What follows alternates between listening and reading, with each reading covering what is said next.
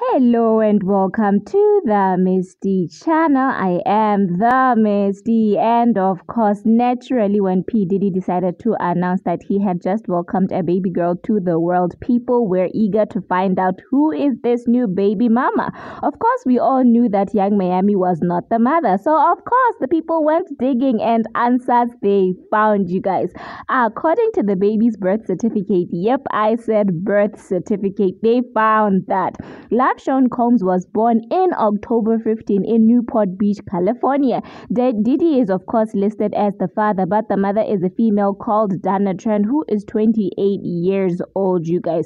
She did have her Instagram, but she recently just deleted it. I guess she didn't want to deal with this mess.